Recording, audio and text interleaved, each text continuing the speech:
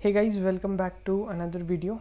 So in today's video we would be working further in our 3d systems. And today we would be building this uh, carousel component. This is a custom carousel component. So we would be building this from scratch. Or we would be just modifying up the requirements so that it would be easy for you all to understand also. So uh, let us say what it is like uh, this component is developed by some other person that is working uh, in your uh, uh, in your department only or in your team. And what you are to do is like you are to uh, make changes on this component. Let's say that person is on leave. So you are to make uh, changes over to this component. So what you would do what would be the steps that you would be uh, performing in this component and how you would be dealing with things uh, we would be dealing uh, working on this uh, in this video. So uh, you went over to the builder and you first check that okay what is the name of this component? So this component is parent carousel okay? So now you would be navigating back to your vs code and you would be uh, getting all these components and you would see that in your parent carousel let me just zoom a little bit. So it is calling another component that is the child that is c carousel home. And uh, this is the slides data that is the slider data that they are passing. Some custom height custom width auto scroll and hide text uh, and other things are being passed into this uh, second component okay let's say the child component. So this slides data is slides that data this is the property in your child okay and this slider data is a property in your parent uh, file okay. Custom height and width so these are also uh, present in your child component whereas the value is passed from the parent component itself so uh, now we what would be looking is we would be looking at the javascript code that how uh, the things are being rendering. Uh, so let me come over to this javascript part. So guys as you could uh, see from here this is your lwc part. Uh, in which what we could see is this is a slider image one. So this is a link to some image this is the slider link uh, for the first one. Same for second third and fourth. So automatically what we are seeing is uh, there are four images and four links okay? So they are making use of four items. And uh, okay and we could see this slides data. And that is this slider data right? And where we could see the slider data is we have created a getter in here. And in this getter what we are uh, returning is an array of object in which we are adding 1 2 3 and uh, 4 all the four items with their image name.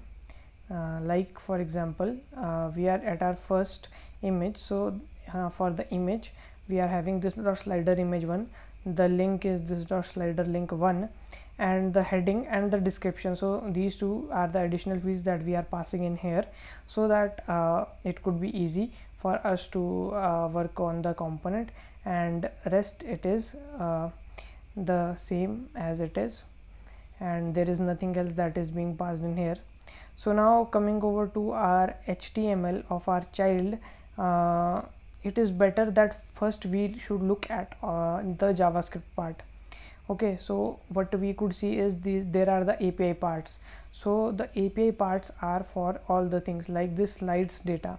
So uh, we could uh, see a thing of called slides data that in here we could see a getter method defined by the api and the associated setter method. Okay for the associated other items we could also see the hide slide number uh, custom width and custom height that is uh, provided from your parent. The auto scroll functionality as in if you could see here auto scroll. So uh, for the beginners see there is a uh, if you could see auto and scroll there is a uh, hyphen between the two. So why it is that? Because in our child what we have defined is we have defined this scroll with capital S. Okay? So uh, that's why in our uh, parent we have uh, added this by a hyphen and small letter that is s accompanying uh, the things okay? So now let's move over to the uh, parent to now the child one okay? So uh, this is your uh, thing okay? From parent the main part that is to be taken into consideration is this slides data. Everything is coming into the slides data. So uh, what is this? We have created this uh, slides data and it is returning this dot slides. So everything is coming in this array. From there also we are getting this um, array of object and in here we are catching this in array uh, variable. And in the setter part where the uh, actual logic resides is uh, in our slides what we are doing is first we are um, moving and iterating over our data. So data is the thing that we are passing in the setter method. And uh, in our map function we are passing the slide and the index as i. So we are checking if the current index is 0 so we are uh, returning the entire slide that is the entire array object that is the image link heading and description this part along with the other things like index is i plus 1 the slide class and the dot class. So in terms let us say these are the four things. So now your entire uh, array would become of 5 6 and 7 total 7 items uh, including the index the slide class and the dot class. Okay? And if your index is i i variable is not 0 then what we are doing is we are just returning the things and we are just modifying our style class. Okay that is the fade and slds hide. So that is being entered in our slides data. So from this what we could understand in here is that now our uh, array of object from 4 it became to 7 the size became to 7 okay. So now if we uh, it's the better time to see the html also. So uh, see we are looping over the slides data and for item slide. Okay. So before that what we could see is there is a style of max width and max width is being passed from our parent. So uh, if we could see is the custom width that is 100% and in here this is the max width that I created a getter. So I don't need to create a uh, separate kind of API variable for this because I just created a getter for the max width. Okay so uh, in this what I am doing is um, I am using a special syntax that is uh, I am using the back backticks the width and I am dynamically passing this dot custom width in this. So what would it be like is style is equal to width colon 100 percent so it would be uh, as this. Okay same goes for your height right? So uh, now moving further in our html part what we could see in here is uh, we are iterating over our slides data uh, the total eight items. So a href is the slide dot link so slide dot link is we are getting from the parent only. If we could see the parent see this is the slide and this is the link. So we are directly referring the link and since we have optimized uh, this setter so what we are passing the key as slide dot index and we are also passing the slide class. See slide dot uh, description uh, the slide class and the associated css classes. Okay. So this is in here and if we could see is div if false handle slide text. So if we could see in our parent there is no such property called handle slide text while there is it is in here. So what it would be? It would be in your slide uh, child part. And see what we are doing is by default we are setting this to false. Okay. So if we are setting this to false what it means is uh, it means like if this is false that means false false. So this thing would uh, show up. And we would be uh, displaying the slide heading and the slide description. Okay. Thereafter we are also using uh, the two buttons that is uh, the previous and the next button that is displayed from these two lines. And these are also coming dynamically from our uh, javascript controller. And if we are checking that if our hide navigation dots so this is also uh, in here no. This is not from the parent this is in the child only. So hide navigation dots uh, okay is set to false. So if this is set to false then uh, we could see our associated uh, child classes and that is uh, a template runs over again the slide data. This is the same as the above loop but the above loop ends in here. This is a new loop right?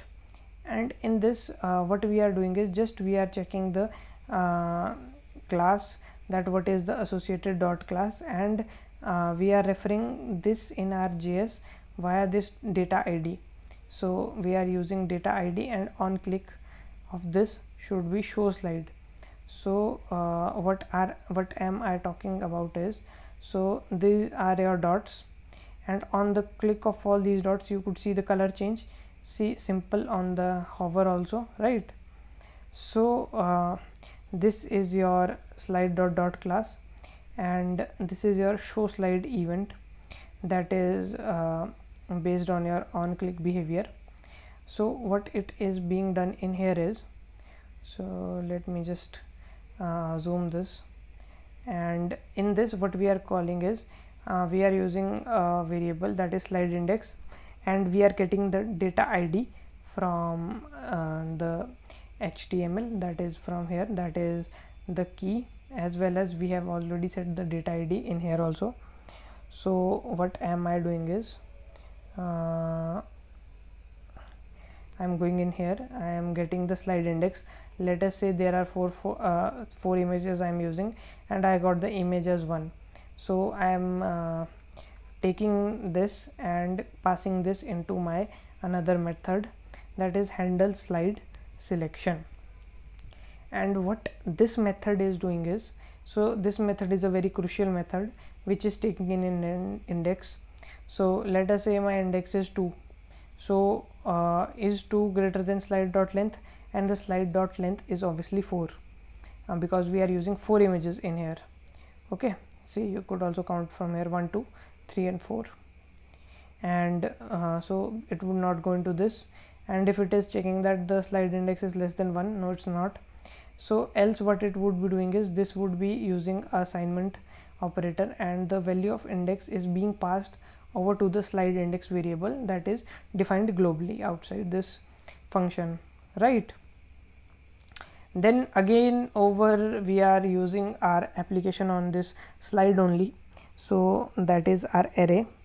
So what we are doing is we are checking uh, and creating a map of the slide.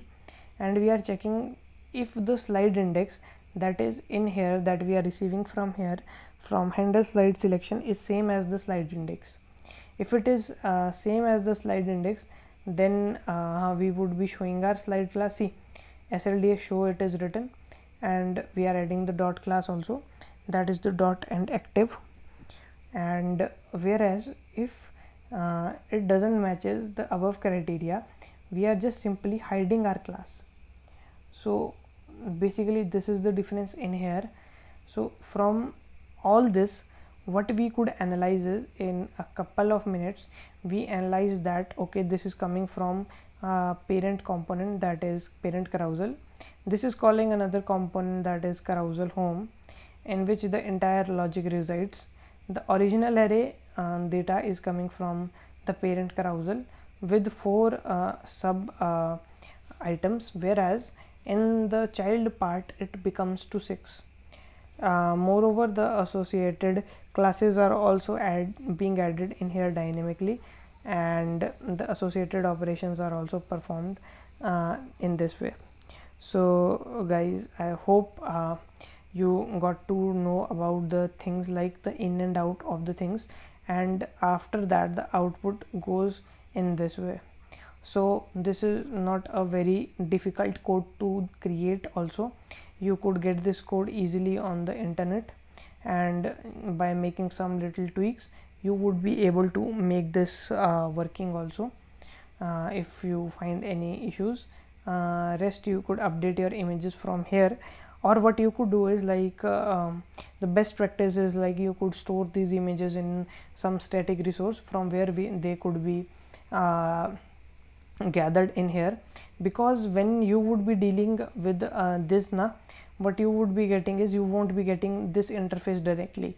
You would be getting an error in your experience builder that would be saying that the image url is not uh, uh, supported and it is blocked by csp so what you would be going is settings security and privacy. And in here there would be option to add uh, to allow these uh, image urls you would just be allowing them and your uh, uh, function or the carousel part would be working perfectly. So this would be a working demo for your carousel part. See my uh, index is also increasing and I click on this. So associated uh, page is also getting rendered. Uh, I hope uh, this video uh, from this video you got idea like how things are working and how to debug the code okay? How to debug someone else code when you are working or when there is a requirement right? So uh, thanks for watching and if you are having any concerns or queries do let me know. Thanks a lot